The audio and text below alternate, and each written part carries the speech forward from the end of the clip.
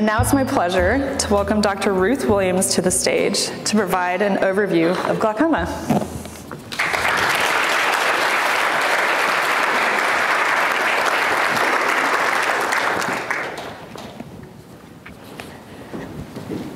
Hello, everyone. I am so happy to be here today.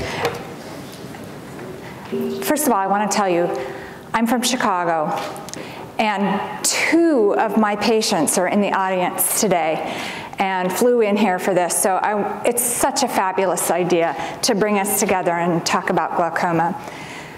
I use the educational materials from Glaucoma Research Foundation in my practice and the materials are sitting out and my patients really appreciate it. In fact, everything I'm going to tell you today or we're going to talk about today is on the GRF website, glaucoma.org. So if anything I said you said, oh, that's interesting, it's on the website. The first thing I want to say as a physician, what I experience is that my glaucoma patients are terrified. And even though many patients who don't look afraid come in very afraid. And so one of my jobs is to walk the journey with you. And I've had a number of patients as they're leaving from the first visit said, I was so scared and now I'm not scared anymore. So information is power and I think the greatest power of information is to make us feel more confident in the journey. And Amanda's story is the perfect story about information and early diagnosis changed the course of her life. So what is glaucoma? First of all, it's not a disease. Glaucoma is a group of diseases, a whole bunch of diseases that have some things in common. And the, the thing in common is that there is damage to the optic nerve in a fairly patterned way. It's a certain kind of damage to the optic nerve, but many different things can lead to that kind of damage. Most commonly, it's associated with elevated eye pressure. So the eye constantly makes fluid. It it makes fluid to keep the eye bathed and to keep a normal amount of pressure in the eye, and it constantly drains the fluid, so the fluid's going through. And different factors can cause that eye pressure to go high, and I think of it a little bit like an, a, a car tire that's a little bit overfilled. The other really important thing for patients to understand is that glaucoma is chronic and progressive. So we, at this point in time, we don't cure your glaucoma. So if you come in and have a trabeculectomy like Amanda did or another procedure that many of you have had, it doesn't fix your problem. It manages it at this time. Someday we're going to come back here and have a different story, but that's the story right now. So here's a photograph of the optic nerve in the back of the eye, and here's how I describe what's going on with the optic nerve to my patients. So the nerve endings for the photoreceptors in the eye, where the, the cells that help us see, collect all together in a cable, the nerve. The cable goes back to the brain, and it connects into the brain. And that cable goes out of the eye in an opening. And those, a simple way to think about it is the, all those nerve endings hug the edge of the cable almost like a car tire. And in glaucoma, you get thinning of that tissue as you lose some of the um, of the cells. The pressure causes damage to the cells. They actually die, and so you get thinning. And the most common place to get thinning is down inferiorly. So when your doctor examines your eye, he or she is looking at that nerve very carefully and looking for telltale signs. Now, this is a gorgeous optic nerve. And if you look at it, you can see that there are blood vessels coursing through the lumen to and from the brain. And one of the reasons that the eye is such a, a innovative space to be doing neurologic research in general is that we have access to it we, and we can see. So a lot of the groundbreaking work that's being done in neurologic diseases in the eye. So when we figure out how to do things in the eye, then we'll also be able to treat things like Alzheimer's and spinal cord injuries and, and other things. So as that optic nerve thins, it causes changes to um, the visual field. And probably every, most of you had uh, visual field tests. And um, I'm going to tell you uh, a cartoon that I saw. I just thought of this just now, so it wasn't planned. So um, you'll probably all hate taking visual fields. And um, it's, it's a cartoon with two um, prisoners, and they're in the dungeon, you know, in the Middle Ages at the bottom of the tower. And one of them's on the rack, you know, getting stretched out on the rack, and the other one's hanging by shackles from his hands. And the one hanging by shackles says to the other one, Well, at least you didn't have to take a visual field.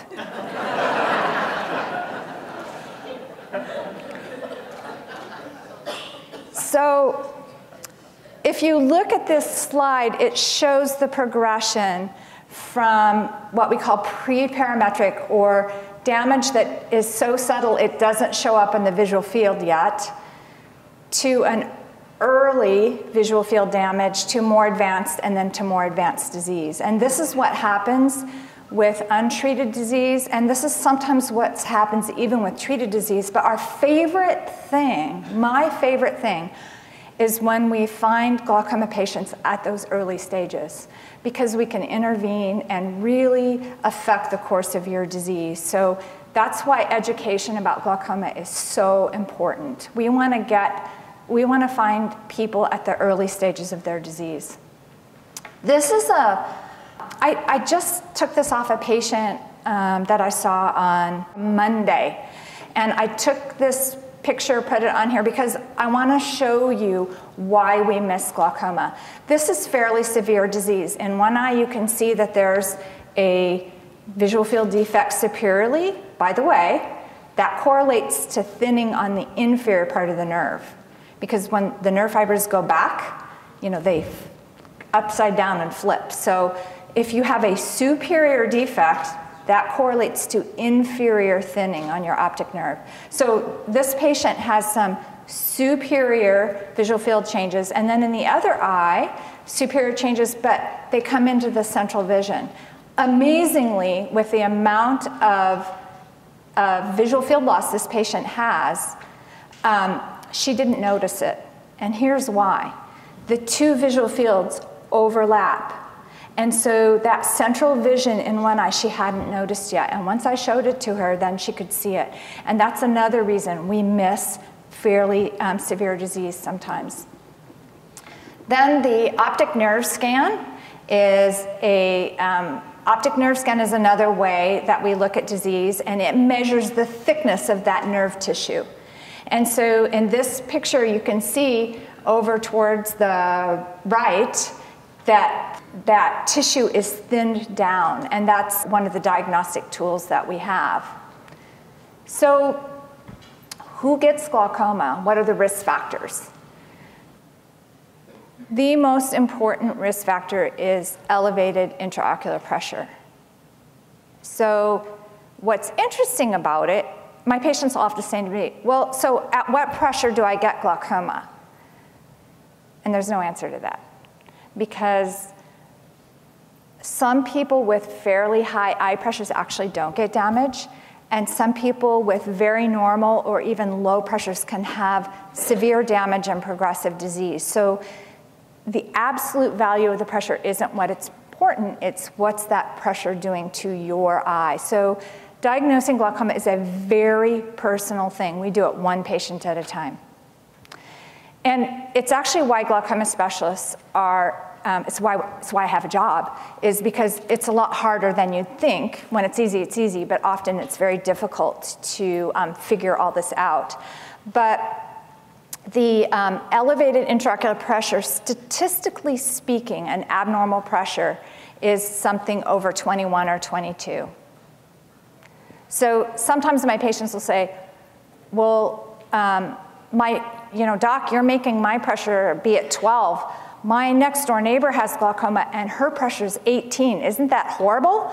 isn't her doctor doing a bad job? And I say, no. You know, we, we decide or make these educated um, decisions, uh, educated guesses, that's a bad word, but it is a little bit of an educated guess about where you should be, and we set a pressure and then we work toward that and make sure that we're right. So another risk factor is um, age.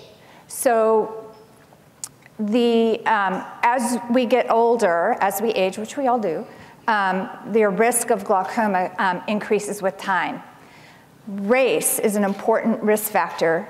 So, for example, um, African Americans have a much higher risk of developing glaucoma than other populations, and the glaucoma tends to be more severe and it tends to be diagnosed at a younger age or start at a younger age. As an example, if you um, go to China or people from certain Asian um, uh, ancestry, ethnicity, the, um, there's angle closure glaucoma or narrow angle glaucoma is much more common. Um, in the US, there's a higher risk of open angle glaucoma among Hispanic people who have a higher, higher incidence at older ages, but not necessarily at younger ages. Nearsightedness is a risk. So if you have, you're very myopic or very nearsighted, that can be a risk factor, and family history. So family history is very important. So glaucoma diagnosis, um, we use all these different tools together, the visual field, the OCT, and the optic disc. A couple weeks ago, over lunch, I filmed some of my patients asking them about why their physician was important to them and what the physician patient relationship was like and what they thought about having glaucoma. So I think I asked the four or five patients right before lunch, would you mind staying? And here's what they say these were picked because they saw me right before lunch. and um, um, the, the point of this video is to share with you the perspective of um, some of the people who um, really their their own experience with glaucoma. to have glaucoma. I would be afraid of losing my eyesight or not being able to see exactly what I'm doing. Being a pastry chef instructor, we do very creative, very intricate things, and so not being able to to see that would be very heartbreaking for me. Condition glaucoma. I know it's, it's with me for the rest of my life, but it's so nice to have a partner, and I see you as my partner in this. Every time I come to you, I, I feel um, a certain level of anxiety because I don't know what, you know, what I'm going to find or what you're going to find. But then I leave and I'm so happy. I want to celebrate. Having the same physician, you know, for a long period of time is very nice because you form a relationship with them and you feel calmer because you trust this person. Well, I do my drops every day, you know, for my glaucoma and wear my good sunglasses at all times. And I have all my confidence and faith in you. I do what you tell me. I certainly respect you as my doctor and the comfort you gave me from the moment I sat down. I never had any reservations about you shooting lasers in my eyes? well, I, I, think the, the interaction, uh, just talking to a doctor, make me uh, feels uh, comfortable and, and good. I text my sisters and I told them that I needed to have the laser done. And they text me back, aren't you afraid? Oh my gosh, Nancy, aren't you afraid? And I said, no, I just, I left the clinic with total confidence. And even the moment that I had it done, my husband was sitting with me and he said, Aren't you nervous? Aren't you nervous? I said, No, I'm not nervous at all. I have total confidence in Dr. Williams. Total confidence. If you want to save your vision, you should always take your wife's advice and go to the eye doctor. You know. That patient's wife made him go get an eye exam. Um, I want to tell you something about your glaucoma doctor that you might not know. Your glaucoma specialist um, spends his or her life devoted to saving, treating and saving vision. And I know this is about patients, but we get attached to you too because you're in our lives for a long time and we see you and we fight together with you and we walk the journey with you. And we get attached to you and we care about you very much. So next time you go to your glaucoma specialist, just remember that quietly that this person, it's, it's, a, it's a relationship between two people that are fighting for the same goals, and it's truly incredible. And we love having you in our lives. You're super, super special people. So, um, see you um, again uh, when we do this again someday.